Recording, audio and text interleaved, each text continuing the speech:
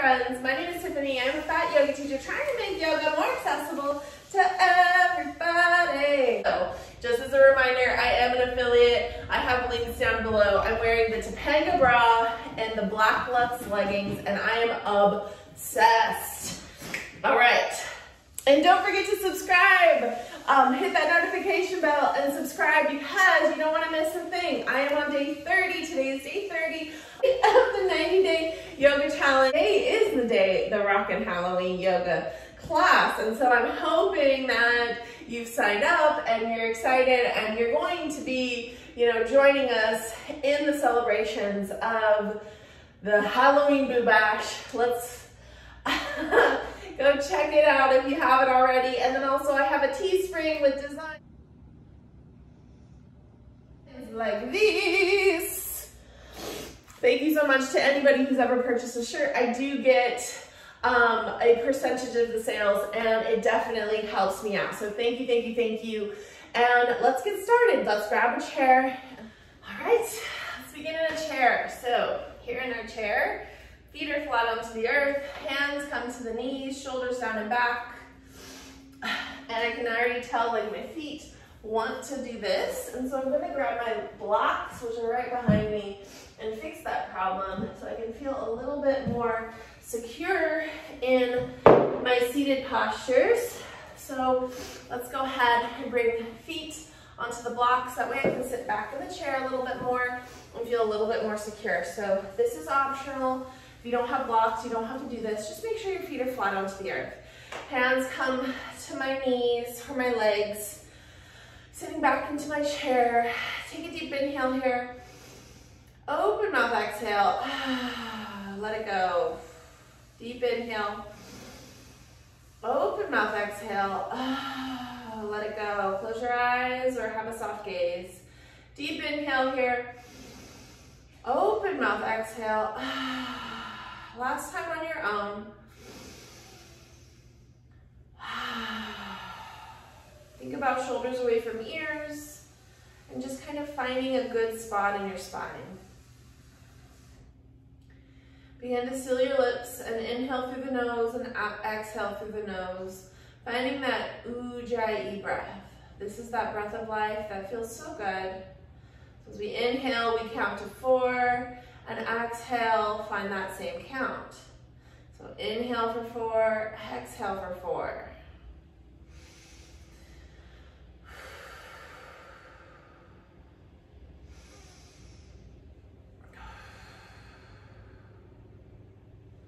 Once we find that breath that feels so good, come back to center and take that right ear to the right shoulder and find a nice neck stretch. We can reach that left hand off to the side or we can keep our hand in our lap. Take a deep inhale and come back to center. Exhale, left ear to left shoulder, right hand reaches down to the right. Take a deep inhale and exhale. On that next inhale, coming back to center, we lift our chest slightly, both arms come, reach towards the sky. Maybe we open our eyes and look up to the sky. Find a little arch. Exhale, we twist to the right, both hands come down, right hand to the right hip, left hand to left leg or to the right leg. Take a deep inhale, we lift, and exhale, we twist. We look over that right shoulder to feel that nice neck stretch here. Take a deep inhale, lift up the chest, exhale, we twist. Come back to center, inhale, both arms lift and rise. Exhale, we twist to the left, both hands come down. Left hand to left hip, Right hand to right hip, right leg or left leg. Take a deep inhale, we lift, and exhale, we twist. Look over that left shoulder, inhale, we lift, and exhale, we twist. Come back to center. Inhale, both arms come up. Take your feet a little bit wider, and then both arms come down. Reach towards the sky, reach towards the ground. I like that my, my hand, my feet are on blocks here. It makes me feel like I'm getting better hip stretch. If your feet are down onto the ground, that's fine too. Work with what you've got. It's totally fine. On that next inhale, we rise all the way back up. Circle the arms up to the sky. We look to our hands. And then the right hand comes down, left hand comes reaching over to the right. Thinking about that left hip sinking down. Take a deep inhale, come back to center. Both arms reach, find a little arch. We look up. Exhale, left arm down, right arm comes up and over. And then on that next inhale, we come back to center. Let's circle the arms again. Inhale, press our palms together, and exhale, we fold. Inhale, we rise, find our half lift. Exhale, we fold. Inhale, circle the arms all the way up. Press our palms together, and exhale, come back to center. Okay, friends, let's find figure four. let's find figure four seated, so a version of pigeon. You have your blocks. Remember what we discussed yesterday as far as bringing a block to the center. And we can use this for our figure four. So if you can cross your legs by bringing your ankle on top of your knee, then that's awesome. You can use the block then to just kind of plant this base foot onto the block to give you more of a stretch here. Or you can use the block differently by placing both feet onto the floor and this block will then be used in a way, let me just scooch back my chair a little bit so you can see better. There we go. And then we take the side of the foot and we lean it into the block. And this is nice, it stretches the ankle a little bit. Flex your foot here so it protects the knee. And then it opens up the hip a little bit. Take a deep breath here. If this feels good, stay here. Otherwise, we can go up to the tallest or the second setting, just depending. I'm going to the tallest just for time, sake of time. So you can have this second option of planting your foot onto the block. Here, this is where you might be instead of crossing your legs. Both are good options. On that next exhale, we plant that right foot down and let's plant the block back down and work on our left hip. So we find the inside of that left foot. We feel that stretch in our ankle. We flex the left foot so we protect our knee and we lift up our chest and we feel this nice little gentle stretch here onto our hip. This right leg is firmly planted onto the earth. Take a deep inhale and exhale. Go ahead and release or stay here if that's feeling good. You can always adjust your block to the higher setting and then bring your foot to that next setting on the block. If you don't have a block whatsoever, you can always just cross at the ankles or just bring your foot to the floor and open the hip that way. If you have something else like a little stool or something else that you can use, a couple of books, a children's toy, whatever you have that's stable, can be firm, firmly planted onto the ground, then feel free to use that. And keep in mind, like yoga blocks are pretty cheap if you go for foam blocks. Foam blocks, you could get two for like 10 bucks on Amazon. So if you're thinking that it's out of your budget, maybe $10 is out of your budget, you can always use the things that are in your home as well. On that next exhale, we go ahead and release, come back to center, and we'll stay there for this version of pigeon. If you cross your legs, that's fine too. We will also find that version in the next sequencing. So here we find some goddess. So we take our legs a little bit wider. Inhale, we circle the arms all the way up. Exhale, we press our hands together and come all the way down to a forward fold. Inhale, we rise, find our half lift, and exhale, we fold. Inhale, circle the arms all the way back up. Bring our hands up to the sky, engage your core, and begin to lean forward and find your goddess. Exhale, we come back to center, shoulders away from ears. Inhale, we lean forward, find our goddess. Come back to center, and then we press into the feet. Maybe we lift a little bit and come back to center. My butt is not even leaving the chair, and I'm feeling a ton of engagement in my legs. So really press into the feet as we lean forward, Come back to center. Okay, friends, let's find this goddess. Hands out to the sides, palms face up. Option to have palms face down, palms face up. You can kind of rotate back and forth. So as we lean forward, palms face up, lean back, palms face down. Lean forward, palms face up, lean back, palms face down. You're also working your arms here. Engage your core as we do this. Exhale. Should feel really good. Press forward. Exhale. And then come back to set hands to our hips and lean forward and take a couple of times this way as well. Then we come back to center, bringing both legs back in. We circle the arms one more time, press into the palms. Exhale, we fold. Inhale, rise, find that half lift. Exhale, we fold. Inhale, circle the arms all the way back up. Press the palms together and exhale, we come back to center. Let's find standing with so this version of standing with the chair, we will start off with pigeon. So this is a different version of pigeon. This is maybe for somebody who has zero accessibility and wants to try it standing. Maybe you have issues sitting for long periods of time. It's too deep on the hips or maybe even getting on your back is difficult. So we begin by just like bringing our knee to our chair and try to cross the ankle over the knee. So it begins here. And then begin to lean forward. This works best with a chair that has a back. Bring both hands to the back of the chair and slowly begin to bend the knee, finding this version of the chair. We can bring our forearms to the back of the chair. Make sure you're feeling very supported here. You should feel a nice stretch on the outer hip right here and the outer hip right here. your hips should feel the stretch. If you aren't feeling it, try to bend your knee a little bit more. And if your knee isn't able to bend, you can always just try to straighten the leg and stick your booty out a little bit more.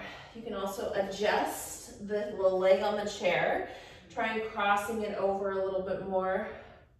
So the thing about any type of pigeon move is that it only works when you are tapped into the body. So really feel into your body and see what you need here. Take some deep breaths, feel into your pigeon. I'm just now beginning to feel it, adjusting my stance here. Take some deep breaths. That outer right hip and left hip is feeling it. And then I'm going to come up, bring my hands down, adjust so that my legs come back to the ground. Come back to center. Let's find it here, again on the other side. So crossing this left leg onto the chair. My right knee lines up with my ankle. And I set my, my right leg back a little bit and bend my knee. So this is how I'm accessing it. And then I lean into that left leg and my forearms are coming to the chair. And this I'm feeling a deep stretch and I can lean forward and feel the stretch even more. And listen to your body here because wherever you're at is good. You can also extend this right leg back more and try to feel it a little bit differently. If your belly's in the way, you can move your belly a little bit. I'm just noticing I needed to do that, so that's why I'm saying that. And I can even kind of wiggle my toe a little bit more to feel the stretch. Take a deep inhale and exhale. Let yourself just sink here. And then on that next exhale, bring both hands to the chair. We step that right foot forward. Lift up the chest. Let that left leg come down. Let's just find a gentle forward fold. Maybe hands just come to the chair. We stick our booty back, booty back. Relax our neck, maybe bend our knees just enough to where they're not locking out. And then slowly roll all the way back up. Let's find our goddess. Adjust your chair if you need to. And I can't stress this enough when you're using a chair, making sure all four legs of the chair are on the mat because you do need that traction. So inhale, we circle, press palms together, and exhale, we fold. Bring your hands to the chair. Inhale, we rise. We lean forward, step our feet to the back. Find our plank, engage our core. Lower down and push back up. Find our upward facing dog, hips come forward. And then our downward facing dog. So arms are extended, shoulders away from ears. We're staking out our booty butt, finding that L shape. On that next exhale, we step our right foot forward, and then we take our left foot so that the heel is coming in, and we find this modified warrior two version in the heels. Take this right foot and adjust to find our goddess. So make sure you're feeling really strong into the goddess. So all four corners of the feet are firmly pressed into the mat. And then we bend the knees and we can bring our hands to our hips and extend our legs. If you're feeling strong, arms come up and extend. And we do this three more times, whatever version of arms you'd like. Two more times, squat down a little bit more here. One more time, we hold it. Engage your core. On that next exhale, we rise back up, hands come down. All right, let's find palms face down. We squat, palms face up, arms extended, palms face down, palms face up. Engage your core here. Palms face down, palms face up. Switch sides, left hand to the hip, right hand extends, palms face down, palms face up, palms face down, and palms face up. We got this for three, and for two, and for one. Awesome job. And then we turn towards the chair and press into the chair. The right leg comes back. Press down, find your chaturanga your upward facing dog, and your downward facing dog. Relax your neck. Step your left foot into the mat, right foot follows. Find your halfway lift. Exhale, we fold. Inhale, we rise, circle arms all the way to the top. Press our palms together, and exhale, we come back to center. Take a deep breath here. All right, let's find it with some blocks. Goddess and pigeon with blocks. All right, let's come to some blocks.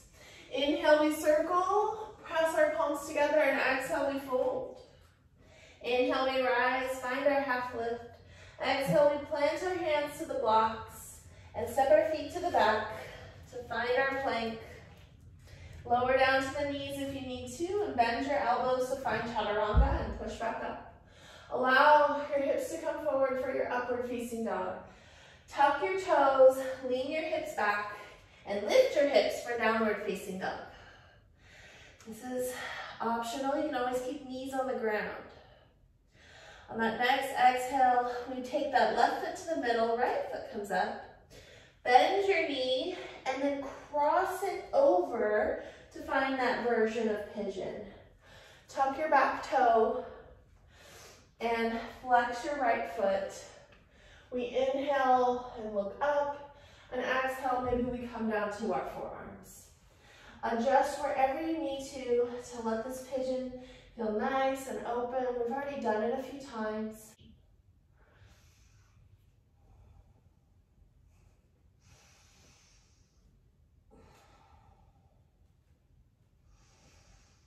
On that next exhale, we push into the blocks, tuck our back toe, and then we can just lift up our back foot and find this extended version, and then push into the hands as we lift up our hips and bring our right foot back.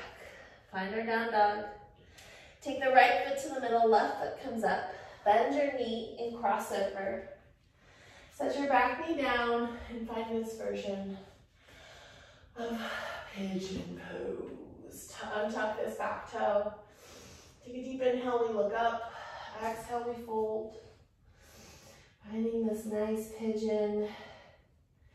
Feeling good. Allowing that hip to open up. You can always keep hands on the blocks like this. Wherever you're at is good. When you're ready, go ahead and tuck that back toe and maybe just kind of walk that knee forward just a little bit. Walk it forward and then swing it so that it's in line. Tuck the back toe and lift your hips and come back to your downward facing dog. Take that left foot to the middle of the mat, right foot comes up. We step it through. And actually it's the left foot for me just because of the way the camera is. Take that right heel down and open it up to the side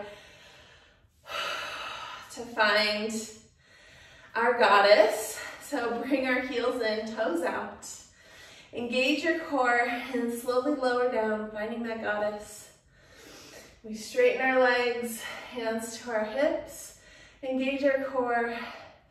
Straighten, arms can raise up if you feel strong here. And straighten, palms facing each other, fingers are straight and like beaming of energy out of them. And then we hold it down and we can find some pulses for 10, 9, 8, seven, six, five, four, three, two, one. Straighten your legs. Version, we extend our arms out to the side. We find our squat, palms face up. Extend and then put them palms face down. Face up as we lower, face down as we extend. Lower, extend. Awesome job. Bring your hands to your hips. Both toes come in, heels out. Inhale, we circle our arms all the way up. And exhale, we fold all the way back down. Find a nice forward fold here. Maybe we bend our knees.